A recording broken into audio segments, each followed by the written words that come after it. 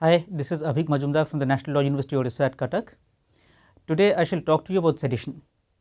Within this, we shall talk about certain specific aspects of sedition like the definition of sedition, the meaning of the term disaffection, the relationship between sedition and public order and lastly the constitutionality of section 124A of the Indian Penal Code. Now, sedition has gained much prominence in the last few years that is largely due to certain very prominent cases such as those involving Binayak Sen, Arundhati Roy etc., etc. And to law students this is surprising for a number of reasons. One in Kedarnath Singh versus the state of Bihar in 1962, a five judge bench of the Supreme Court examined the constitutionality of sedition especially with respect to the right to free speech guaranteed under article 191a and concluded that the offence may be considered constitutional, constitutional only if it is its ambit is confined to those seditious acts intended towards or leading to public disorder. Secondly, in many other legal systems in the international context also, generally sedition is beginning to be regarded as redundant or at worst an affront to the norms of democracy and free speech. Even in the United, United Kingdom, a law commission working paper noted that in the last 15 years, only one case involved charges relating to sedition and concluded that there is no need for an offence of sedition in the criminal code. Let us start with the definition of sedition. There are two ways of understanding this. One is at a conceptual level, which is in terms of how the term has been uh, has been understood by criminal law theorists and at common law. The second entails how the offence is constituted under Indian statute law. When understanding the first, we encounter a minor impediment. Modern treatises on English criminal law omit to mention it altogether. In books like Padfield, Herring or the slightly older Bloy and Parry, the word sedition does not occur even once. Wells and Quick carries it exactly twice, both stray references in discussions relating to public order.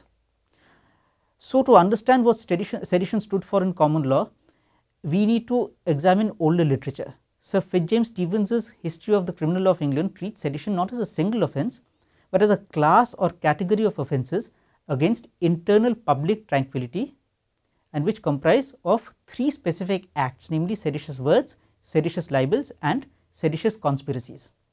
These acts comprise one category because they presuppose disaffection with existing government and the offences themselves consist in the display of this disaffection in the various manners enumerated. From this it is easy to determine the elements of sedition namely A a presupposition of disaffection to the display of this disaffection. It is the aspect of display that constitutes the actus reus here disaffection with the government forms an aspect of the involved mens rea in the sense that the acts of display that is libel words etc must disclose an intention to express or display disaffection of this nature. Stevens's use of descriptors like libel words that is slander suggests a connection with defamation. It is at least clear that like defamation sedition also involves communication or expression of some sort either through written words or spoken words or some other form.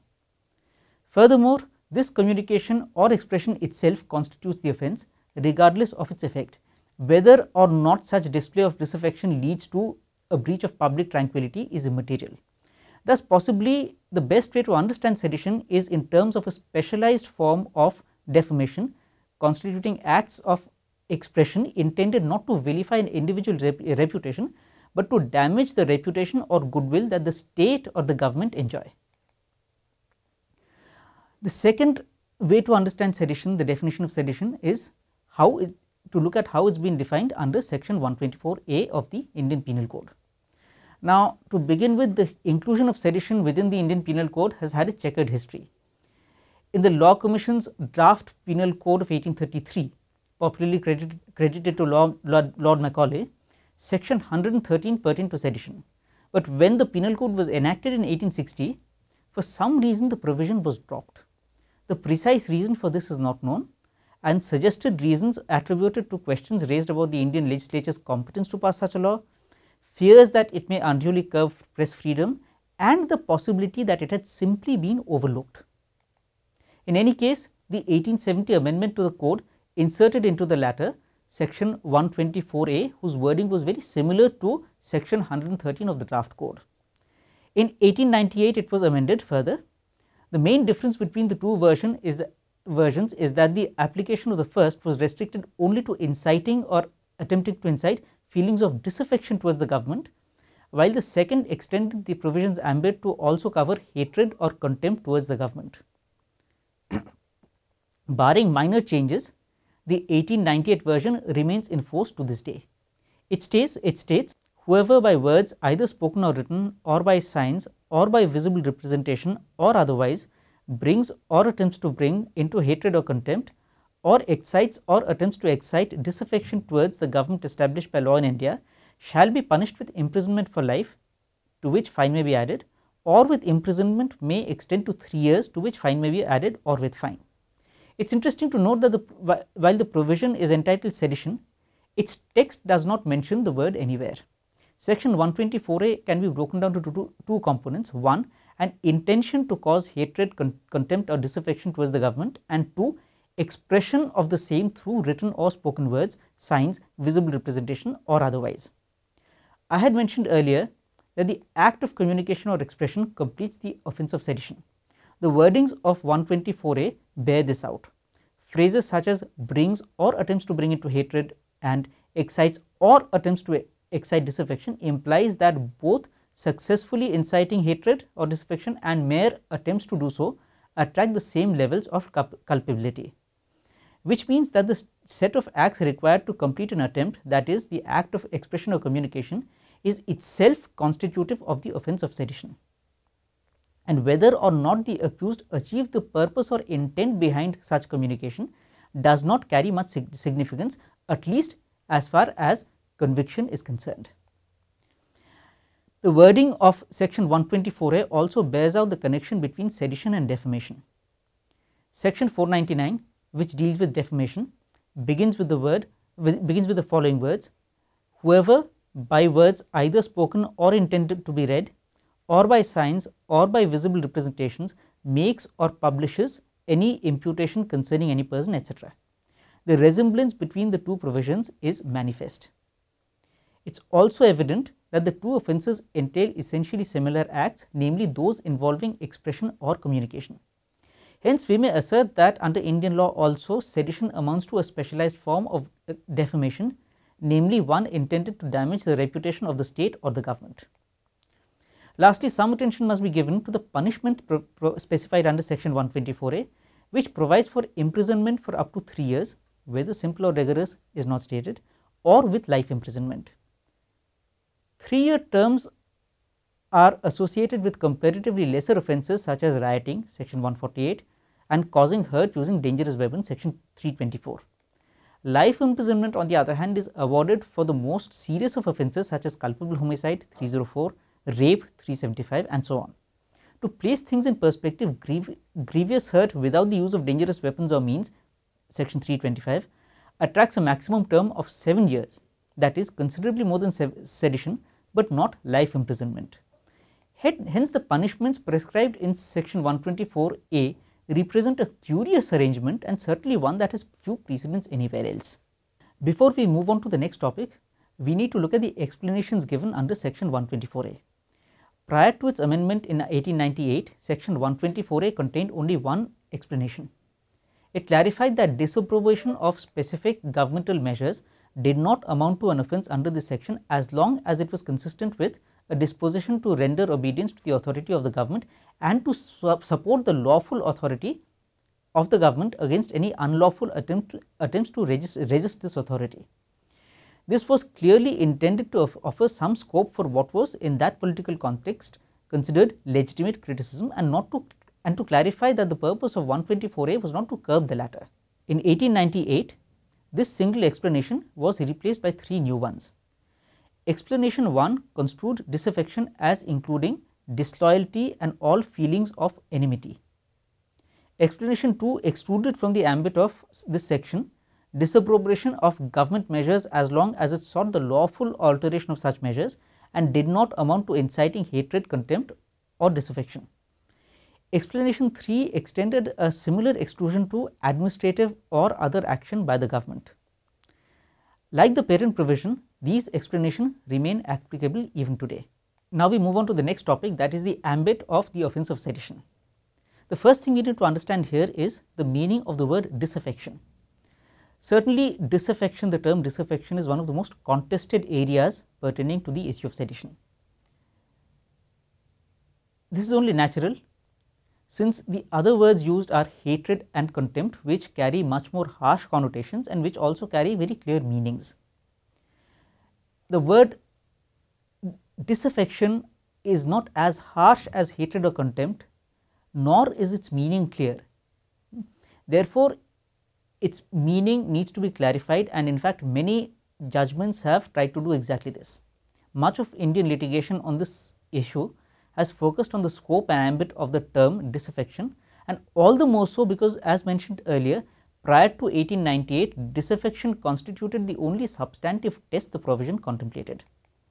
The Calcutta High Court decision of Queen Empress versus Jogendra Chandra Bose, popularly known as the Bongobashi case, is an important ruling from the pre 1898 era. The significant part of this judgment, more precisely the charge to the jury, hinged upon a contention by counsel that disaffection and disapprobation carried the same meaning, to which Petheram CJ pointed out somewhat tenuously that this would place all sedition cases within the ambit of the exception and thus reduce the provision to the level of a dead letter.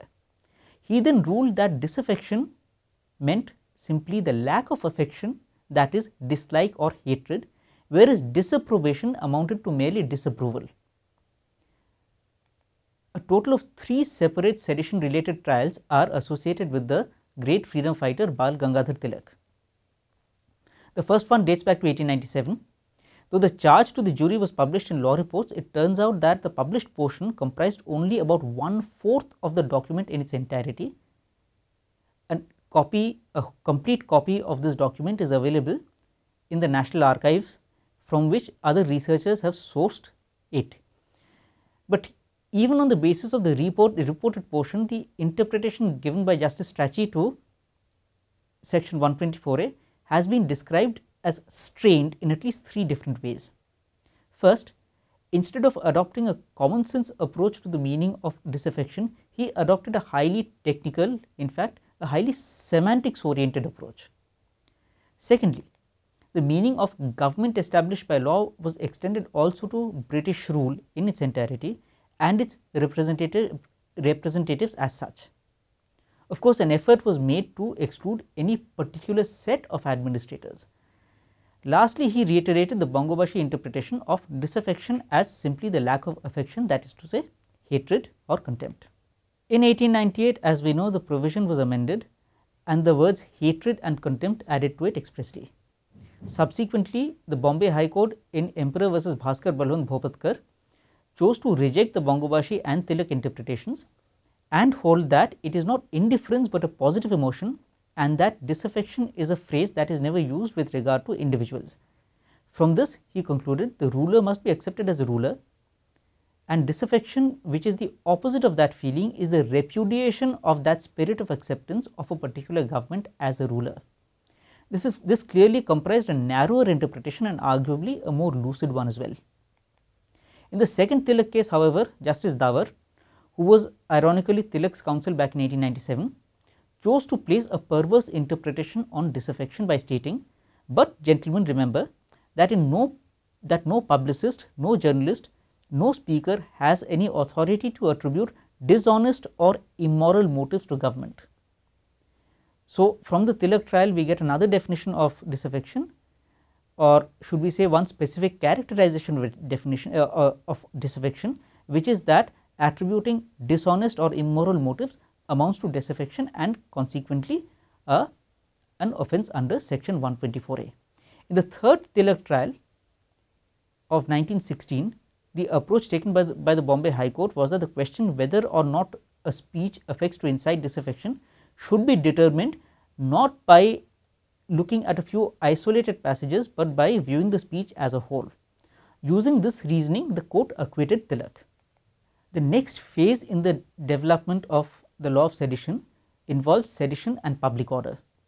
Several significant sedition related cases emerged subsequent to the last Tilak decision, not the least, least of which was Gandhi's trial before the magistrate at Ahmedabad. The next significant development of the law of sedition however emerged much later. Moreover, this development needs to be contextualized in the light of certain developments in, in the English law of sedition. With this we must at least familiarize ourselves cursorily to understand Indian developments.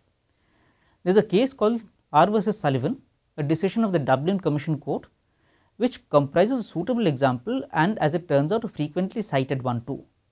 It devotes a lengthy passage to the definition of sedition presented here in considerably truncated form. Sedition embraces all those practices whether by word, deed or writing which are calculated to disturb the tranquillity of the state and lead ignorant persons to subvert the government and incite the people to insurrection and rebellion. The law considers as sedition all those practices which have for their object to excite discontent or disaffection, to create public disturbance and generally all endeavours to promote public disorder. Phrases such as all those practices, generally all endeavours suggest a wide application, but in fact the definition actually narrows the ambit of sedition. If we read the above passage keeping in mind that sedition is merely a form of defamation, then sedition becomes restricted to only those acts of communication or expression that lead to or incite public disorder, incitement, re rebellion etc. This clearly entails a much more stringent standard of proof than the other tests we have encountered so far. For example, attributing dishonest motives to the government may be manifestly seditious according to the criteria formulated in the second Tilak case but unless attribu the attribution is of such gravity as to intend or lead to public disorder, Sullivan will not be satisfied. This formulation has been adopted by several judgments across the Commonwealth. A prominent example is Boucher versus R, a decision of the Canadian Supreme Court. It relied expressly on the specific passage from Sullivan to acquit a group of Jehovah's Witnesses holding that pamphlets brought out by the latter did not amount to sedition since they were neither intended towards nor resulted in public disorder. Niharendu Datta Majumdar versus Emperor was the first case on sedition to be decided by the Indian Federal Court. Chief Justice Gwyer not only expressly adopted the Sullivan reasoning, but also pointed out that, that word, the words used there like loyalty and disloyalty may attract criticism due to their non-legal connotations and hence should be understood in the legal sense only. This discloses most certainly an enlightened approach and is all the more re remarkable because it was delivered by an English judge in the pre-independence era. However, within a few years the Privy Council in Emperor vs Sadashiv Narayan Bhalerao overruled Niharendu on grounds that a the word sedition does not occur anywhere in the marginal material portion of section 124a, but only in a marginal note and hence should not be invoked to curtail the ambit of the latter and b explanation 1 to section 124a clearly renders the provision broad enough to cover all expressions of enmity, enmity or disloyalty, not merely those intended towards or leading to public disorder. It then went on to endorse the absence of affections test formulated by Strachey in the first Tilak case and on that basis convicted the accused.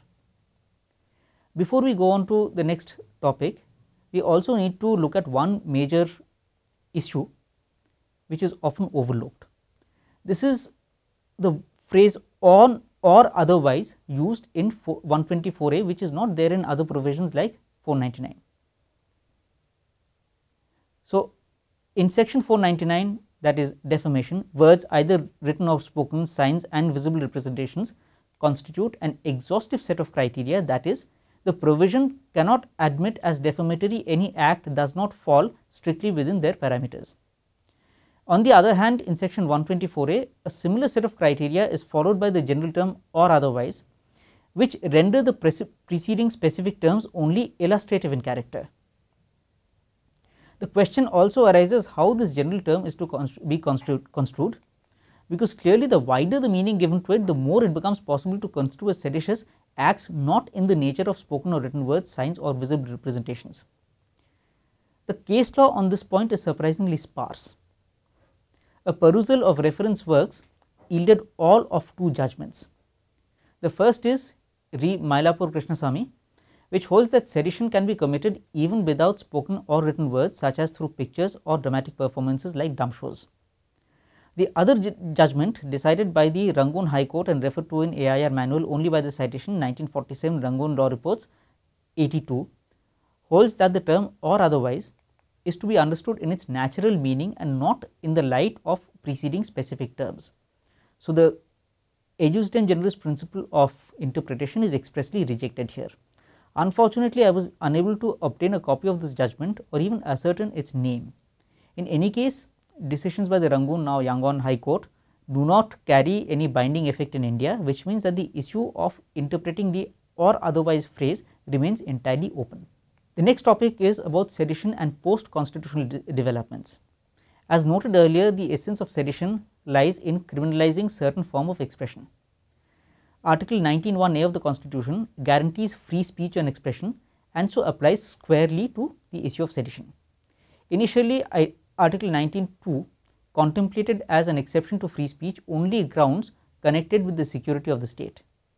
This raised the question whether sedition and other curbs on free speech on grounds of public order could be protected under the former. The Supreme Court examined this issue in two judgments passed on the same day and by the same bench, namely Brij Bhushan versus State of Delhi and Ramesh Thapar versus State of Madras. The majority opinions in both cases were delivered by Patanjali Shastri J, who held that sedition or other threats to public order did not constitute a threat to state security and therefore did not enjoy the protection of article 19 clause 2. Justice Fazal Ali de delivered dissenting judgments in both instances where he held that sedition did constitute a threat to state security and therefore did enjoy protection under article 19 clause 2. Subsequently, the first amendment to the constitution added other grounds to article 19 clause 2 including friendly relations with foreign states, public order and decency and morality. Now, the question transformed into whether and if so to what extent the public order criterion protects the constitutionality of sedition and section 124a. The Supreme Court addressed this authoritatively, authoritatively in the decision called Kedarnath Singh versus State of Bihar, which I had mentioned earlier. Chief Justice Sinha speaking for the court quoted with approval extracts from Sullivan, which we have already encountered and R versus Aldred, and then embarked on a detailed discussion of the conflict between Niharendu and Sadashiv Narayan and then the inputs of Brij Bhushan and Ramesh Thapar. It identified Niharendu and Sadashiv Narayan as representatives of two possible interpretations of section 124a. The first restricting the provision to only public order and the second interpreting it broadly to include instances to include all instances of lack of affection. The court noted that any law not protected by article 19 clause 2 is necessarily ultra vires article 19 clause 1a and moreover moreover article 19 clause 2 offered protection only to laws upholding public order or any other grounds mentioned therein. Hence, if section 124a were interpreted to include all forms of disaffection and not merely threats to public order, then it would no longer be protected by article 19 clause 2 and would hence be become unconstitutional. On the other hand, if section 124a were to be interpreted in the lines of Niharendu to extend only to public order, then it would be saved from unconstitutionality by 19 clause 2.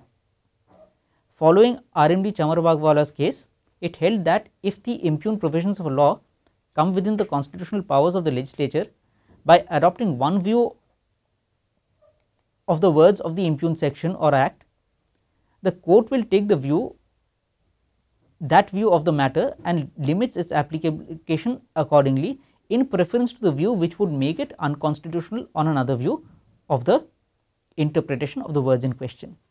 That is to say if a law is to be law can be interpreted in two different ways and one is constitutional the other is ultra vires the constitution then the court will prefer that interpretation which is constitutional and subsequently interpret the provision according to that specific interpretation. Hence, to save section 124a from unconstitu unconstitutionality, it must be interpreted narrowly to cover only public order and nothing more. Now, we conclude this by looking at certain developments in the law of sedition after Kedarnath Singh. Now, this appears slightly surprising because after Kedarnath Singh's authoritative pronouncement, one would have thought that the parameters of sedition have been defined for once and for all. Initially, at least subsequent cases on sedition tended to rely considerably on Kedarnath Singh. One example is the Gujarat High Court decision in Manubhai Tribhuvandas Patel versus State of Gujarat, which concerned a book of the communist leader Mao Zedong's speeches. Chief Justice Bhagwati speaking for the court pointed out that after Kedarnath Singh, it must therefore be taken as well settled that words, deeds or writing constitute sedition punishable under section 124a only if they incite violence or disturb law and order or create public disorder or have the intention or tendency to do so. After examining the text, he concluded that there is not a word in these passages that is extract from speeches which even remotely suggests that people should overthrow lawfully established government by force or violence. In Bilal Ahmed Kalu versus State of Andhra Pradesh, we find the beginnings of a disturbing trend. Here the Supreme Court held that merely spreading news about atrocities committed by Indian army personnel on Kashmiri Muslims did not amount to sedition.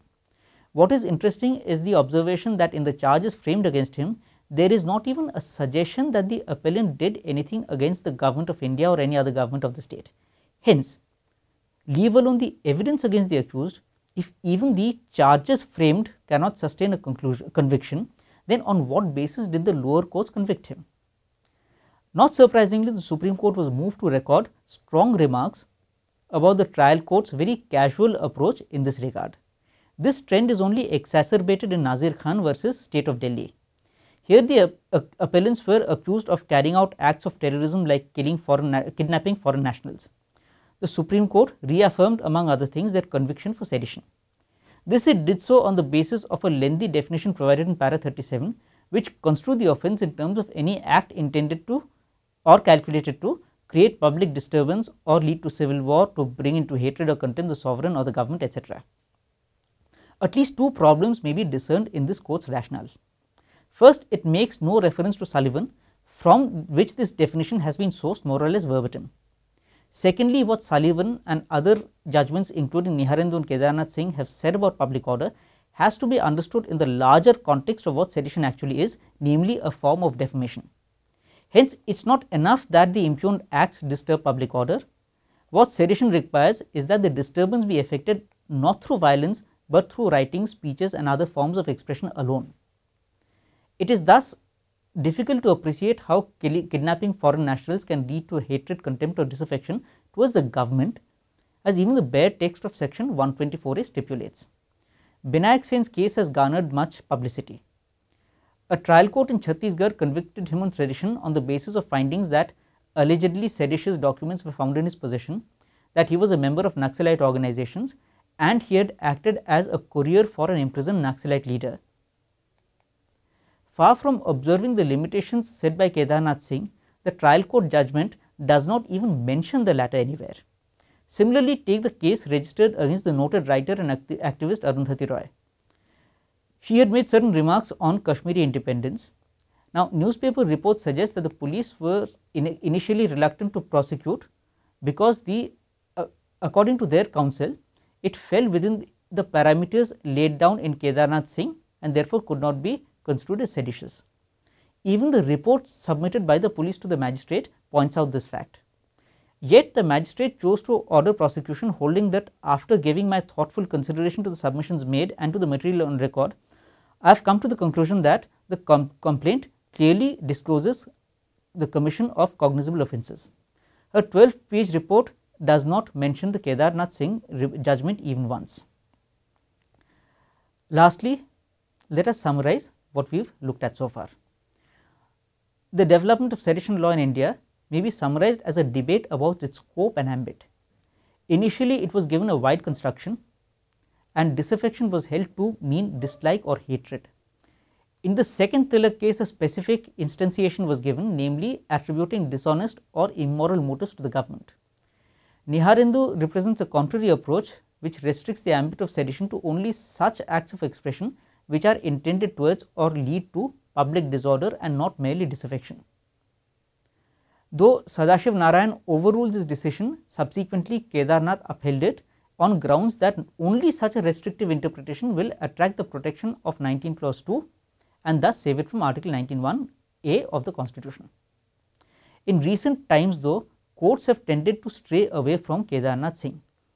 They have not only interpreted sedition in unduly wide terms, but also reached guilty verdicts in cases where the facts are altogether unrelated to the parameters of sedition. Why this happens remains a mystery. Thank you.